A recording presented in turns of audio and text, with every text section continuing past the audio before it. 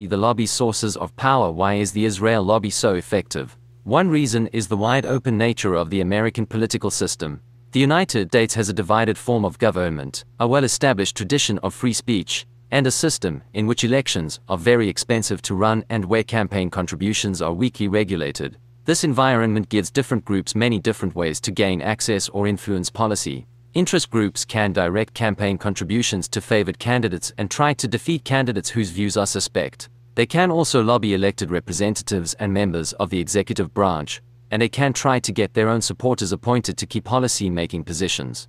Moreover, there are numerous ways for interest groups to mold public opinion by cultivating sympathetic journalists, writing books, articles, and op eds, and working to discredit or marginalize anyone with different views. For a group that is highly motivated and has sufficient resources, there is no shortage of ways to influence public policy the lobby's effectiveness also reflects the basic dynamics of interest group politics in a pluralistic society. In a democracy, even relatively small groups can exercise considerable influence if they are strongly committed to a particular issue and the rest of the population is largely indifferent. Even if the group's absolute numbers are small, policymakers and especially members of Congress will tend to accommodate them, because they can be confident that the rest of the population will not penalize them for doing so. As one US Senator put it, when asked why he and his colleagues signed a piece of controversial legislation pushed by the lobby, there is no political advantage in not signing. If you do sign, you don't offend anyone. If you don't, you might offend some Jews in your state. Disproportionate influence of small but focused interest groups increases even more when opposing groups are weak or non existent. Because politicians have to accommodate only one set of interests, and the public is likely to hear only one side of the story. Whether the issue is farm subsidies or foreign policy, special interest groups often wield political power that far exceeds their absolute numbers in the population. As will become clear in the next chapter, the Israel lobby enjoys a number of advantages in the competition for influence in the United States. American Jews are relatively prosperous and well educated, and have an admirable philanthropic tradition. They give generously to political parties and have very high rates of political participation. A sizable minority of American Jews is not strongly committed to Israel, but a clear majority is at least somewhat engaged and a significant minority is strongly energized by this issue. When married to the support Israel gets from Christian Zionists, it is a potent base.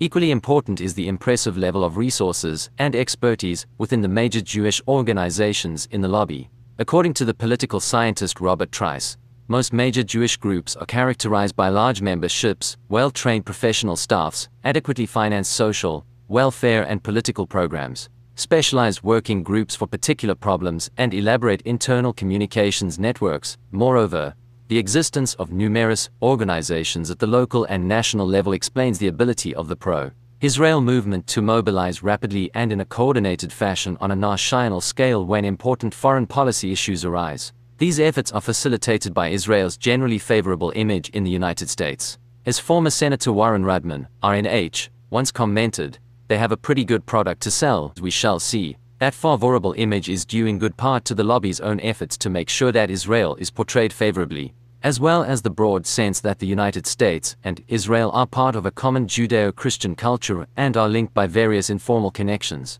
Finally, the lobby benefits from the absence of effective opposition.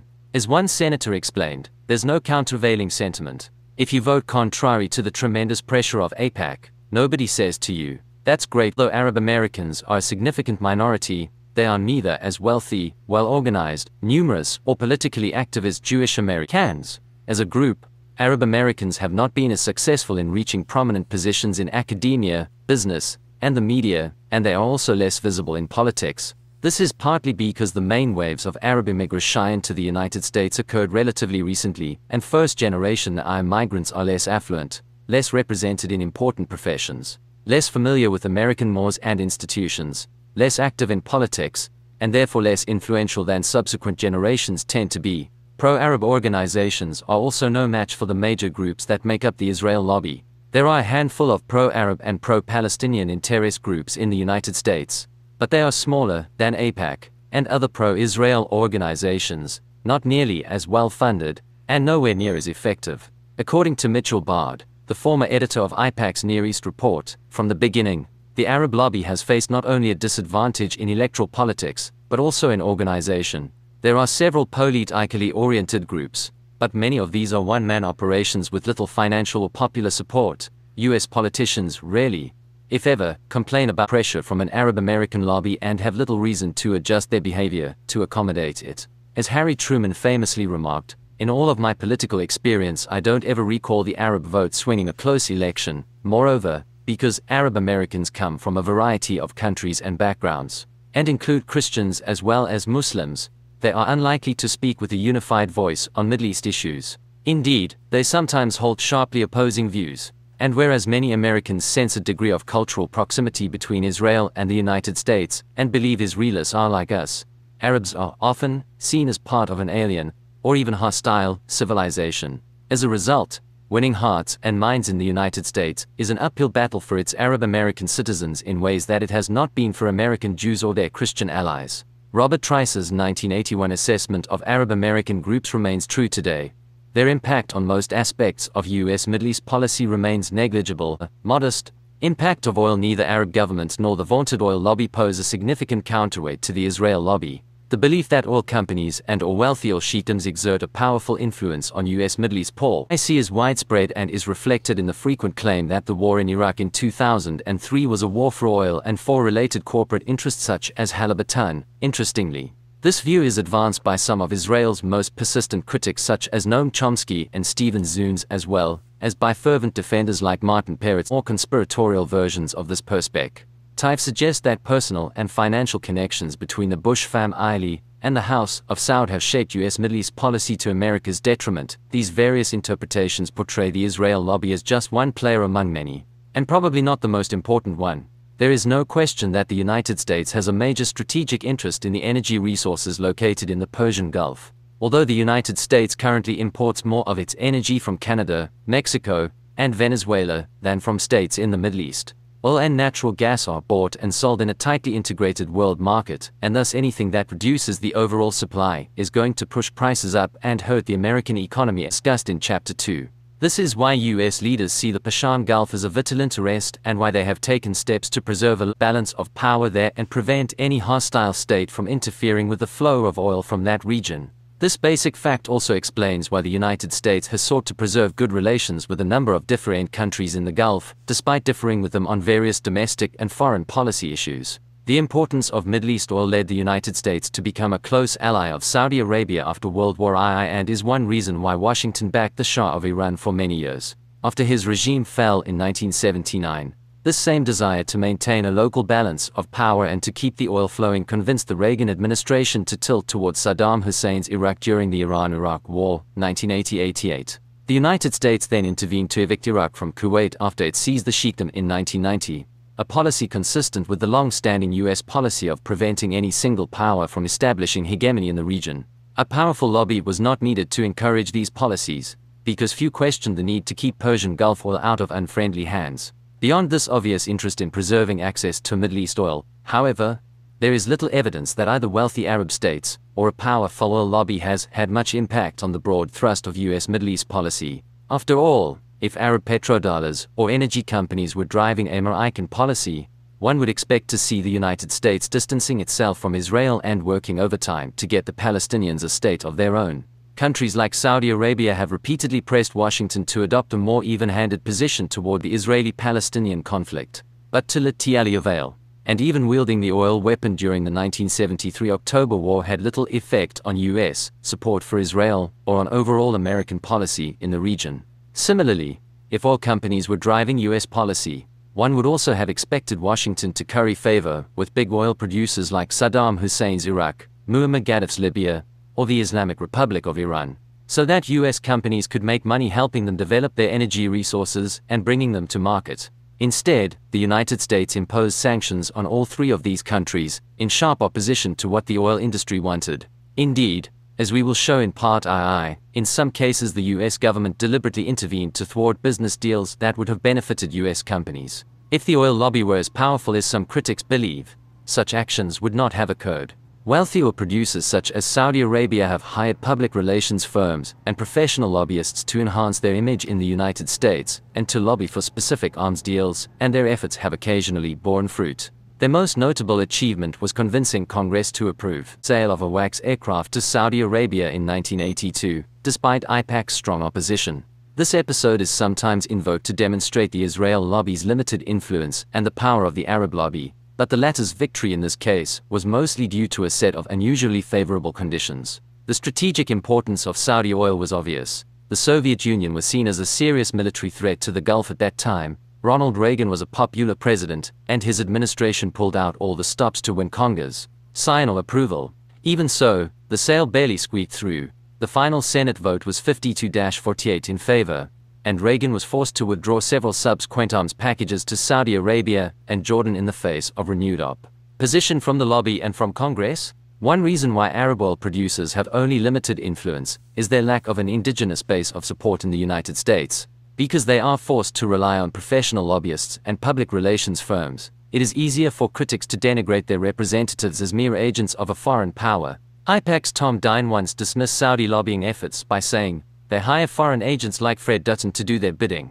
Their support is not rooted in American soil. The Israel lobby, by contrast, is a manifestation of the political engagement of a subset of American citizens, and so it's active, ITs are widely and correctly seen as a legitimate form of political activity. Furthermore, because most oil exporting governments depend on large revenues to keep themselves in power, threatening to cut off the supply is not credible, and their leverage is thus reduced. Many of these governments also have sizable investments in Western economies and would suffer considerable losses in the event of a sustained economic downturn.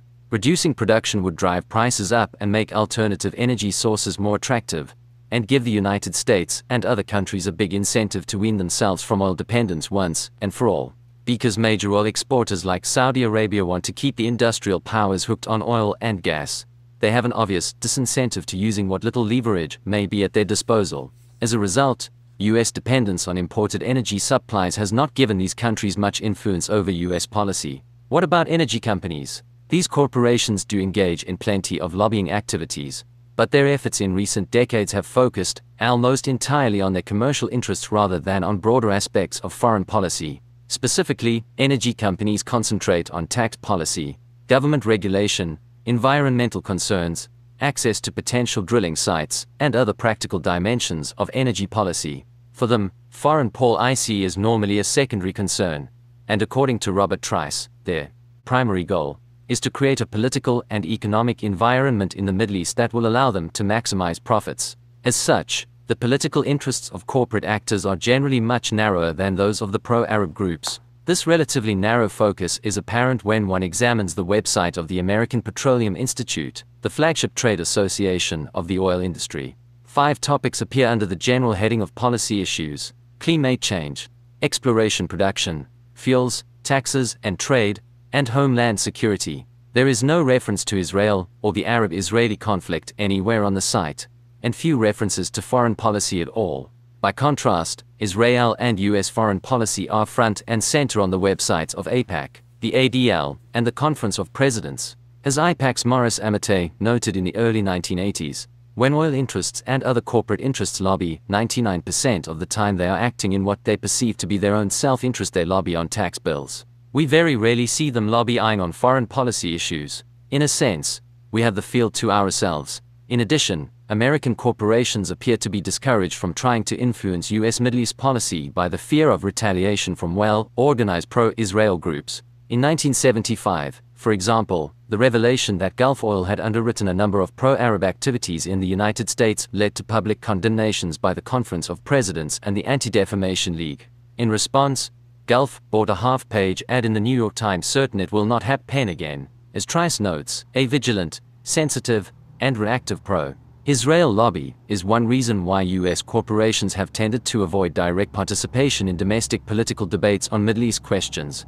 Some commentators believe that oil and gas companies are driving US policy either to gain lucrative concessions in places like Iraq, or to foment instability that will drive up oil prices and enable them to reap windfall profits. 135 Not only is there little direct evidence of such behavior, but it runs counter to the long term interests of major energy companies. Energy companies do not like wars in oil rich regions, sanctions, or regime change the staples of US Middle East policy in recent years because each of them threatens access to oil and gas reserves and thus their ability to make money And such events also encourage Americans to think more seriously about reducing demand for the oil company's main product. Thus, when Vice President Dick Cheney was the president of Halliburton, Inc., a major oil services firm, in the 1990s, he opposed U.S. sanctions on Iran, policy as discussed in Chapter 10, driven largely by the lobby, and complained that U.S. firms were being cut out of the action by America's sanctions happy policy. Cheney's earlier position suggests that if oil companies controlled Middle East policy,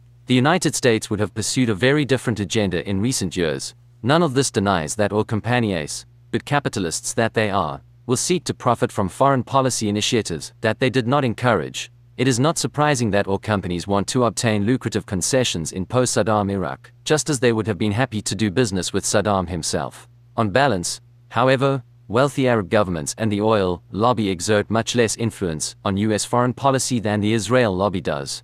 Because oil interests have less need to skew foreign policy in the directions they favor and they do not have the same leverage, writing in the early 1970s. The Columbia University professor and former Assistant Secretary of State Roger Hilsman observed, it is obvious to even the most casual observer that United States foreign policy in the Middle East, where oil reigns supreme, has been more responsive to the pressures of the American Jewish community and their natural desire to support Israel than it has to American oil interests, in his comparison of the Israel and Arab lobbies. Mitchell Bard acknowledges that although oil companies like Aramco have conducted lobbying campaigns in the past, the effort has had no observable impact on U.S. policy, or as AIPAC's former legislative director, Douglas Bloomfield, told BBC News in 2003, AIPAC has one enormous advantage. It really doesn't have any opposition. 8. The question of dual loyalty This picture of a powerful special interest group, comprised mainly of American Jews and working to move US policy in a pro-Israel direction, is bound to make some people uncomfortable, because it seems to invoke the specter of dual loyalty, which was once a common anti-Semitic canard in all the Europe. The charge, in its original incarnation, was that Jews in the diaspora were perpetual aliens who could not assimilate and become good patriots. According to this now discredited argument, Jews were thought to be loyal only to each other. The infamous Protocols of the Elders of Zion, a Tsarist Jerry that was exposed and discredited long ago, claimed that Jews operate as a fifth column in the countries where they live, working for a committee of Jewish elders who are secretly plotting to dominate the world. In this earlier, anti-Semitic incarnation, dual loyalty was in fact a misnomer as the charge implied that Jews were loyal only to each other and felt no genuine loyalty to their home countries. Today, however, both scholars and commentators use the term in a neutral and non-pejorative fashion to describe the widespread circumstance where individuals feel genuine attachments, or loyalties, to more than one country. Thus, in his recent comparison of different ethnic diasporas, the Israeli political scientist Gabriel Sheffer distinguishes among total, dual, and divided loyalty, and notes that all three responses occur when members of a particular ethnic, national, or religious group are scattered across different states. As discussed below, other thoughtful Jewish Americans have used dual loyalty to describe their own attitudes and experiences, but their use of the term is very different from its past employment as an anti Semitic slander. Any notion that Jewish Americans are disloyal citizens is wrong. We fully agree with Malcolm Hoenlein, who directs the Conference of Presidents, that it is safe to say that American Jews are among the most patriotic and loyal of American citizens we have made clear. Those who lobby on Israel's behalf are acting in ways that are consistent with long-standing political traditions. Indeed, political life in the United States has long proceeded from the assumption that all individuals have a variety of attachments and loyalties to country, religion, family, employer just to name a few, and that American citizens will create formal and informal associations that reflect those loyalties and interests. Consider, for example, a 2006 Pew Global Attitudes survey of Christians in 13 countries in which 42% of the US respondents saw themselves as Christians first and Americans second. These different attachments, which sometimes include an affinity for a foreign country, may reflect ancestry, religious affiliation, personal experience, such as overseas study, or a Peace Corps assignment, or any number of other sources. It is legitimate for US citizens to express such attachments and affinities in political life. This is in fact what democratic theory implies that they should do. As we have noted, it is even permissible for Americans to hold dual citizenship and to serve in foreign armies, including the IDF, and some have done so. Americans who work to influence U.S. foreign policy in ways that benefit Israel almost always believe that the policies they favor will benefit the United States as well. As former AIPAC executive director Tom Dine told one interviewer, I came to this job thinking American foreign policy and how to strengthen America's position in the world. At the same time, thought a lot about Israel because I'm Jewish more, to the point Theodore Manner, former head of the Conference of Presidents said, in 2001 that leading American Jews really feel very deeply that American interests and Israeli interests are one and the same. While there is no question that this perspective is widely and deeply held, there is a problem with it. No two countries will always have the same interests, it is just not the way international politics works. There have been instances in the past, and there will be more in the future, where US and Israeli interests were at odds. For example, it made good strategic sense for Israel to acquire nuclear weapons in the 1960s, but it was not in America's interest to have Israel go nuclear, nor is it in the US national interest when Israel kills or wounds innocent Palestinian civilians, even if only unintentionally, and especially not when it uses American made weapons to do it. One sees a similar divergence of interests in Israel's decision to invade Lebanon in 1982, and in its recent opposition to U.S. plans to sell advanced weaponry to Saudi Arabia and other Persian Gulf states nonetheless. Many of Israel's supporters find it hard to acknowledge that Jerusalem and Washington could have fundamentally different interests. In other words, they fully accept the strategic and moral rationales that we laid out and refuted in chapters 2 and 3, and they work hard to convince policymakers of their continued validity. They may also hold to these views because humans are usually uncomfortable when important values conflict. Even when US and Israeli interests are clearly at odds, some of Israel's American backers will find it difficult to acknowledge that a significant trade-off exists. There are, however, thoughtful Jewish Americans, including some prominent policymakers, who openly acknowledge that conflicts can and do arise among their Jewish identities, their understandable interest in Israel's well-being, and their genuine loyalty to the United States. To his credit, Henry Kissinger dealt forthrightly with this issue in his memoirs, writing that though not practicing my religion, I could never forget that 13 members of my family had died in Nazi concentration camps. Most Israeli leaders were personal friends, and yet, I had to subordinate my emotional preferences to my perception of the national interest. It was not always easy, occasionally it proved painful. Kissinger acknowledges, what many would deny, tensions are bound to arise whenever Americans have strong affinities for other countries. No matter what the origins of those attachments and no matter how consistently they resolve them on behalf of their homeland. Or as one of Bill Clinton's Middle East advisors admitted anonymously, we act in America's interest, but through a prism. Another veteran Jewish American diplomat expressed a similar feeling by saying, I thank God that I'm not working in Middle East affairs or at the UN, where you might have to vote to condemn the Israeli, for these statements are in no sense confessions of disloyalty. On the contrary, they are admirably honest reflections on the multiple loyalties that all human beings feel and that sometimes come into conflict. The journalist Eric Alterman offered an equally candid acknowledgement in 2003, noting that his own dual loyalties were drilled into me by my parents, my grandparents, my Hebrew school teachers, and my rabbis, not to mention Israeli teen, tour leaders and AIPAC college representatives, but instead of pretending that potential trade offs will never arise, Alterman recognizes that we ought to be honest enough to at least imagine a hypothetical clash between American and Israeli interests. Here, I feel pretty lonely admitting that, every once in a while, I'm going to go with what's best for Israel, yet Altman is not in fact alone. Consider the remarks of Stephen Steinlight, former director of national affairs at the American Jewish Committee. After recounting his own upbringing in America as a Jewish nationalist, even a quasi separatist, Steinlight remarks, the process of my nationalist training was to inculcate the belief that the primary division of the world was between us and them. Of course, we saluted the American and Canadian flags and sang those anthems, usually with real feeling. But it was clear where our primary loyalty was meant to reside. I'm also familiar with the classic well honed answer to this tension any time this is cited Israel and America are democracies they share values they have common strategic interests. Loyalty to one cannot conceivably involve disloyalty to the other, etc., etc. All of which begs huge questions, and while it may be true in practice most of the time, it is by no means an absolute construct, devoid of all sort of potential exceptions. We have no less difficult a balancing act between group loyalty and a wider sense of belonging to America. That America has largely tolerated this dual loyalty, we get a free pass. I suspect, largely over Christian guilt about the Holocaust makes it no less a reality when it is important to emphasize that this phenomenon is not confined to Jewish Americans. Rather, Such tensions are an inevitable feature of a melting pot society that has drawn its citizens from all over the world. It is equally important to note that most American Jews would surely reject any suggestion that they would place Israel's interests ahead of America's if an obvious conflict arose between them. Jews and non-Jews who believe that the United States should continue to give Israel strong and unconditional support have every right to advocate their positions, and it is wrong to question their loyalty when they do.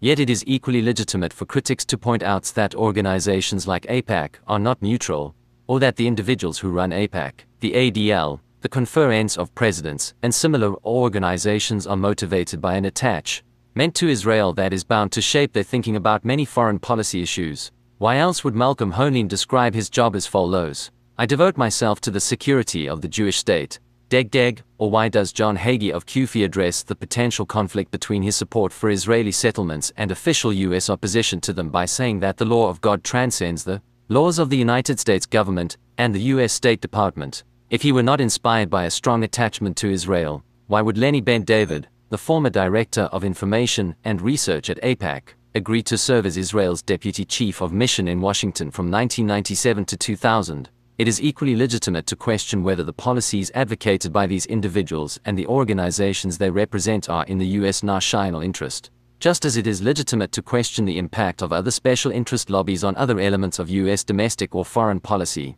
Their patriotism can be above reproach, but their advice might be fostering policies that are wreaking havoc in a region of considerable strategic importance to the United States and indeed to the rest of the world. To question the soundness of that advice has nothing to do with the older, discredited use of dual loyalty to imply that Jews were unpatriotic. Conclusion The Israel lobby is the antithesis of a cabal or conspiracy. It operates out in the open and proudly advertises its own clout. In its basic operations, the Israel lobby is no different from interest groups like the farm lobby, steel and textile workers, and a host of ethnic lobbies, although the groups and individuals who comprise the Israel lobby are in an unusually favorable position to influence U.S. foreign policy, what sets it apart, in short, is its extraordinary effectiveness. In the next two chapters, we examine the strategies it employs to achieve its goals.